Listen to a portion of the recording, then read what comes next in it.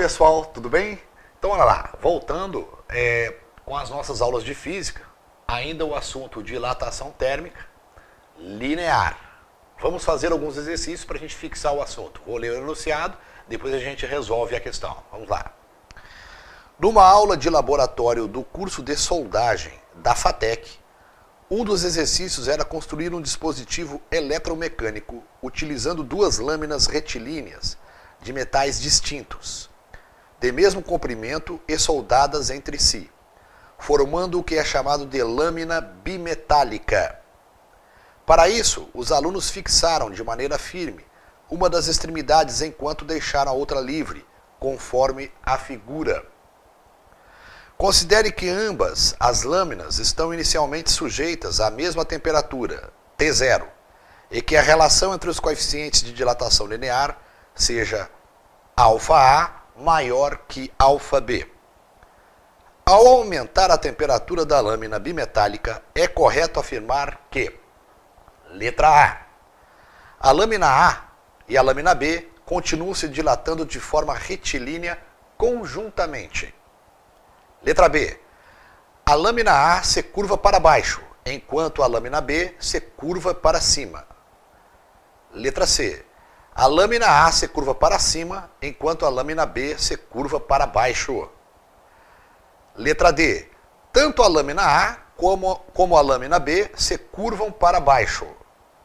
E letra E. Tanto a lâmina A como a lâmina B se curvam para cima. Ok, pessoal. Então vamos resolver esse problema aí. Vamos resolver esse problema. Bom, então o que acontece? O que acontece? Os estudantes é, juntaram duas lâminas, fixaram uma na outra, tá certo? De materiais diferentes, cujo alfa A é maior que o alfa B, isto é, o coeficiente de dilatação térmica deste material, da lâmina de cima, que é a A, é maior que o coeficiente de dilatação térmica deste material, que é a lâmina de baixo. Quando eu soldo as, as duas lâminas, eu chamo de lâminas bimetálicas, ok? O que, que esses estudantes fizeram? Eles fixaram esta lâmina, isto é, engastaram a lâmina aqui na parede e deixaram ela em balanço. O que, que significa isso? Que ela pode se mexer nesse sentido aqui, ó. Tá ok? Nesse sentido aqui ela não pode se mexer, mas ela pode é, se dilatar para cá, tá certo? Então ela está engastada aqui dentro, está engastada. É, despreza, vamos desprezar qualquer fenômeno que ocorra aqui dentro. O fato é o seguinte, a pergunta é a seguinte, aquecendo, o que, que vai acontecer com essas lâminas? Elas vão se dilatar linearmente de maneira conjunta, juntas, se elas vão vir para cá juntas. Se uma vai para cima ou a outra vai para baixo, tá ok? Ou se as duas vão para baixo. Então vamos ver o que vai acontecer. Bom, como o coeficiente de dilatação térmica da, dessa lâmina aqui é maior do que a de baixo, ela tende a dilatar para cá. Ela vai dilatar para cá. Em maior intensidade do que a de baixo. A de baixo também tem coeficiente de dilatação. Ela também tende a se dilatar. Acontece que como essa se dilata maior, de, de maneira mais intensa, ela tende a forçar a de baixo no mesmo sentido. Acontece que a de baixo vai oferecer uma resistência por ter menor dilatação. Então o que acontece? A tendência é que à medida que a de cima, a tendência, à medida que a de cima vá se expandindo, a de baixo também vai, mas vai tentando, vai, vai, mas vai oferecendo uma resistência à dilatação porque é menor. Então as, as duas tendem a fazer uma curva para baixo. Então, o que, que vai acontecer então com este fenômeno, com este experimento? A minha barra, na verdade, bimetálica, a minha haste bimetálica, tende a fazer isso aqui. Ó.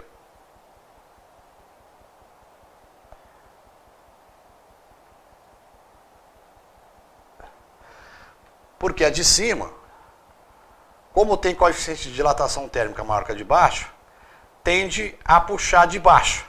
Só que a de baixo, só que a de baixo, oferecendo resistência, a de baixo oferece uma resistência porque tem dilatação térmica menor. Então, elas tendem a expandir de maneira que faça uma curva para baixo, ok? Então, ela tende a fazer isso aqui, as duas barras. Portanto, a resposta desta é, questão é a letra D, ok? É a letra D. Então, resolvido uma questão bacana aí de dilatação térmica. Ok, pessoal? Vamos a mais uma questão de dilatação térmica linear. Vou ler o enunciado. Duas barras metálicas representadas por A e B possuem comprimentos iniciais L0A e L0B, coeficientes de dilatação lineares αA e αB e sofreram variações de temperatura ΔTA e ΔTP, respectivamente. É, sabendo que L0A igual a 5L0B e B igual a 8 vezes alfa A e delta TA igual a 2 vezes delta TB, podemos escrever que a razão entre as variações de comprimento delta LA e delta LB, ou seja, delta LA dividido por delta LB, vale. Então vamos lá. Vamos resolver esta questão. Vamos lá. Então eu tenho duas barras, essa barra A, essa é a barra A e essa aqui é a barra B.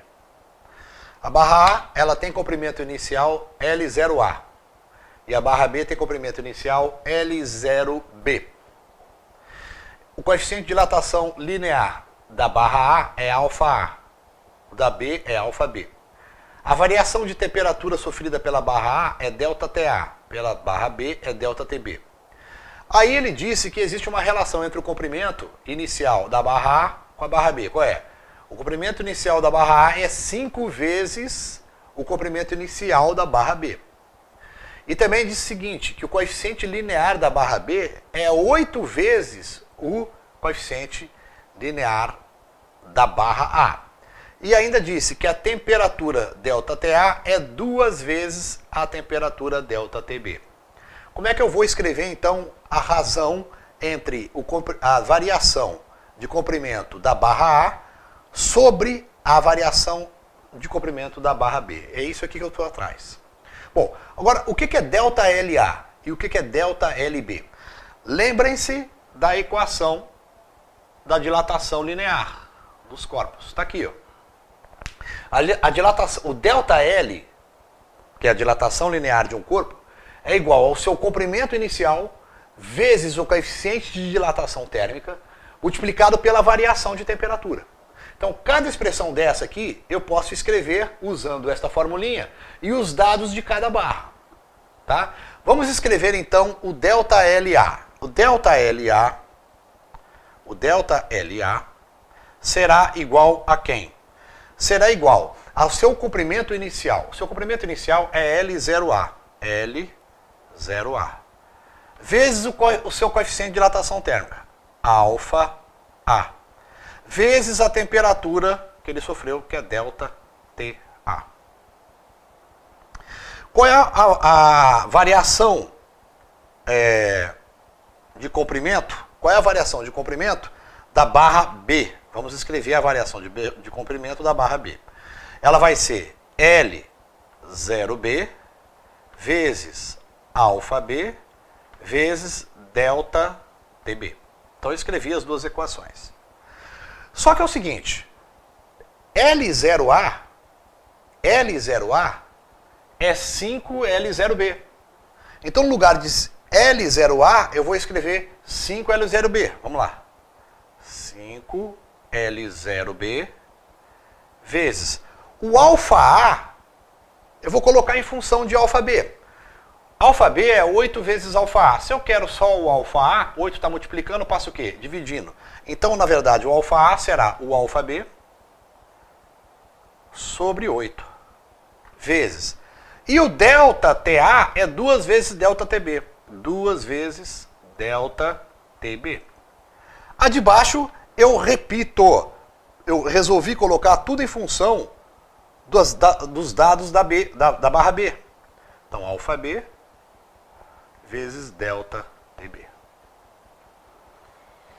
Tá ok? Eu não quero a, a razão entre delta LA sobre delta LB, que eu vou fazer? Eu vou dividir isso aqui por isso aqui. Tá ok ou não? É isso que eu vou fazer. Eu vou dividir agora isso por isso. Vou dividir isso por isso. Isso que eu vou fazer. Bom, é, então, se eu dividir isso por isso, eu vou ter delta LA sobre delta LB. Bom, 5, 5L0B dividido por L0B, o que acontece? Isso com isso corta. Sobra 5. Tá ok? Alfa B sobre 8 dividido por alfa B, corta o alfa B com alfa B, sobra 1 oitavo. Ok? Delta TB dividido por delta TB, corta, corta, sobra o quê? Sobra 2. Sobrou isso aqui. 5 vezes 2, 10 sobre 8. 10 sobre 8.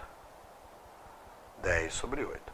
Se nós fizermos essa continha, você vai obter 1,25. Esta é a razão quando eu, é, delta LA sobre delta LB.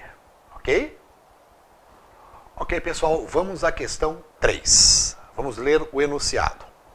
A figura representa duas barras metálicas A e B de espessura e largura desprezíveis, que apresentam a temperatura inicial θ0, comprimentos iniciais L0 e 2L0, respectivamente.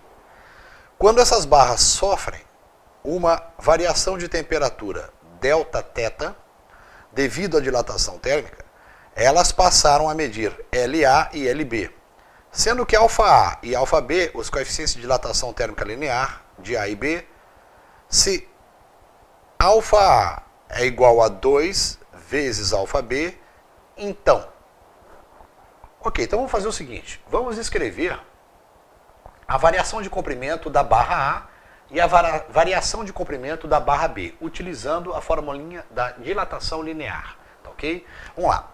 É, variação de comprimento da barra A. Delta LA é o seu comprimento inicial, que é L0,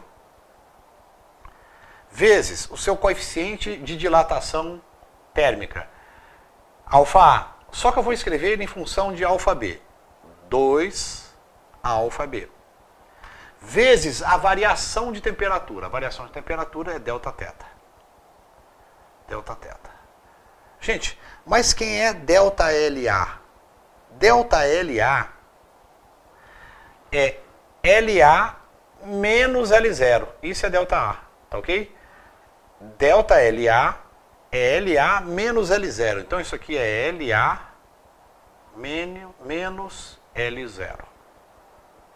Ok? Vamos escrever agora a variação de comprimento da barra B. Delta LB. Quem vai ser? O comprimento da inicial da barra B é 2L0. 2L0 vezes o seu coeficiente de dilatação térmica, que é alfa B, vezes a variação de temperatura, que é delta teta. Mas quem é delta LB? Delta LB é LB menos 2L0. É LB menos 2L0. Bom, é, as alternativas desse problema são as seguintes. Letra A. LB menos LA é menor que zero. LB menos LA é igual a LA. LB menos LA é igual a L0. LB menos LA é maior que L0. E LB menos LA é menor que L0. Então o que ele quer? Ele quer LB menos LA. Tá ok? Então vou fazer o seguinte. Considera agora somente estas, essas equações aqui, que eu destaquei aqui. Considera agora, se eu subtrair esta, se eu, subir, é, é, se eu subtrair isto por isso, eu vou ficar com LB menos LA. Olha só, se eu fizer isto menos isto, vamos fazer isto menos isso. Vamos escrever LB menos LA. Quanto é que dá menos LO menos L0, menos 2L0, menos L0. Aqui vai ficar mais, né? Então vai ficar 2L0 mais L0 dá menos L0. Certo? Ó, menos 2L0 menos L0 vai ficar menos 2L0 mais L0, sobra menos L0. Isto é igual a fazer isto menos isso. Então isso aqui é 2L0 vezes alfa B vezes delta teta menos L0 vezes 2 vezes 2 alfa B vezes 2 delta teta é a mesma coisa que 2 L0 vezes alfa B vezes delta teta. Pessoal, essa expressão é igual a essa. Portanto, isso aqui tudo vai dar quanto? Zero. Logo, logo eu tenho LB menos LA. Esse menos L0 vem para cá, mais L0. Portanto, eu tenho que LB menos LA é igual a L0. Alternativa C dessa questão, ok? Alternativa C desta questão. Bacana? Mais uma questãozinha aí de dilatação térmica linear resolvida.